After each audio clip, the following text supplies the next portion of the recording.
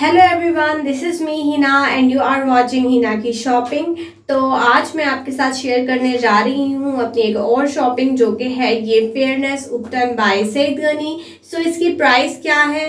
आप कहाँ से ख़रीद सकते हैं? आपकी स्किन पर इसके बेनिफिट्स क्या हैं? और आपको अपनी डेली रूटीन में इसे कैसे इस्तेमाल करना है? सब कुछ आपके साथ शेयर करने की कोशिश करूँगी। तो ये उपटन मैंने ऑनलाइन ख़रीदा है इनकी वेबसाइट से। सईद गनी के इसके अलावा भी बहुत से फेस पैक हैं। और मेरा दिल है कि मैं वन बाय वन सब ट्राई करूँ। आजकल मेरी स्किन केयर रूटीन में ये वाला फेस पैक शामिल है। So I am here with an honest review so इस ओपटन की करंट प्राइस है दो सौ पचपन रुपये जब मैंने ख़रीदा था तो मैंने दो पाउच इकट्ठे ख़रीदे थे, क्योंकि दो पाउच ख़रीदने पर मुझे डिस्काउंट मिल रहा था सो मैंने दो ख़रीद लिए। पर अभी तक मुझसे ख़त्म एक भी नहीं हुआ है, क्योंकि मैं इसे रेगुलर यूज़ नहीं कर रही थी। खैर, अब मैंने इसे अपनी डेली रूटीन में शामिल कर लिया है और मुझे काफ़ी अच्छे रिजल्ट्स मिले हैं। तो आप स्क्रीन पर देख सकते हैं, ये इस तरह के पाउच में आता है और फिर इसके अंदर एक और पैक मौजूद होता है सिल्वर कलर में। इसमें हमारी प्रोडक्ट होती है तो आपकी मर्ज़ी है कि आप इसे यूज़ करके फिर इसी तरह पैक में रख दें। या फिर इसे एक खाली जार में ट्रांसफ़र कर दें। बेहतर है कि खाली जार में डालकर रख दें। इस तरह इस्तेमाल करने में ज़रा आसानी रहेगी। सो so, प्राइस की बात हो गई पैकेजिंग की बात हो गई। अब हम बात करेंगे करेंगे इस पैक में मौजूद प्रोडक्ट के बारे में ज़रा डिटेल के साथ। इसके ऊपर मेंशन है कि इसमें मुल्तानी मट्टी बेसन हल्दी और खुशबू ऐड है। ये देखें यहाँ लिखा हुआ है बैग पर multani mitti gram flour turmeric powder fragrance अच्छा जी तो इसमें तीन बेसिक इंग्रेडिएंट्स शामिल हैं जो कि स्किन की केयर के लिए स्किन को स्मूथ रखने के लिए फ्लॉलेस बनाने के लिए आमतौर पर इस्तेमाल की जाती हैं। इसमें बेसन शामिल है। बेसन स्किन की केयर के लिए एक बहुत ही बेहतरीन चीज़ है। पाकिस्तानी और इंडियन सेलिब्रिटीज़ भी बेसन रिकमेंड करती हैं।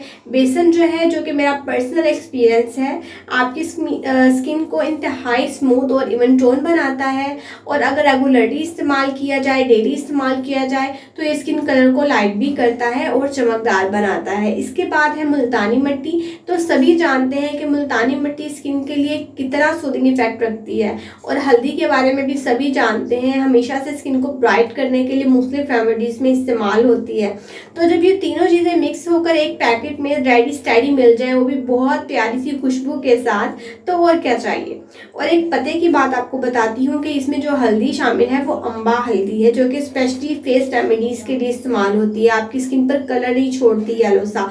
इस हल्दी को अलग से परचेज करना और काफ़ी सख्त होती है, मिल भी जाए तो और फिर कूटना काफ़ी मुश्किल होता है। तो सईद गनी के इस फेयरनेस उपटन के पैक में ऑलरेडी मौजूद है तो मुझे तो पर्सनली बहुत अच्छा लगता है। अब बात कर लेते हैं कि आपको इसे अप्लाई कैसे करना है। So it depends on the season अगर आप गर्मियों में इस्तेमाल कर रहे हैं तो रोज़ वाटर या दूध में मिक्स करें और अगर सर्दियों में इस्तेमाल कर रहे हैं तो दही में मिक्स करके लगाएँ। यू विल गेट अव सम रिजल्ट्स आप पानी में मिक्स करके भी इस्तेमाल कर सकते हैं but I am telling you what actually I do और बाकी ये कि बिल्कुल नेचुरल है, ये कोई केमिकल शामिल नहीं है इसमें और इसमें नेचुरल पार्टिकल्स हैं तो ये आपकी स्किन को एक नेचुरल वे में स्क्रब करता है। जब आपने इस मिक्सचर को अप्लाई करना है तो रिमूव करते हुए अपनी फिंगर टिप से सर्कुलर मोशन में मूव करते हुए स्क्रबिंग करनी है। तो इस तरह से ये एक मास्क के साथ साथ स्क्रब के तौर पर भी काम करेगा। मैं इसे डेली यूज़ करती हूँ, मेरी स्किन केयर रूटीन का हिस्सा है और मैं इसे आफ्टरनून में यूज़ करती हूँ। डे केयर रूटीन के बाद जो कुछ अप्लाई किया होता है, वो लगा तो नहीं रहता। पाँच छः घंटों बाद रिमूव हो जाता है तो फिर दोपहर में ये फेस पैक अप्लाई करती हूँ और अलग से स्क्रब करना छोड़ा हुआ है मैंने, क्योंकि इससे स्क्रब हो जाता है। तो आजकल मैं यही इस्तेमाल कर रही हूँ। जब ख़त्म हो जाएगा, फिर I will try something new and will share review with you so this was all about this fairness ubtan by Saeed Ghani मिलते हैं नेक्स्ट वीडियो में एक नए रिव्यू के साथ. Till then bye take care अल्लाह हाफिज़. एंड फ़ी अमान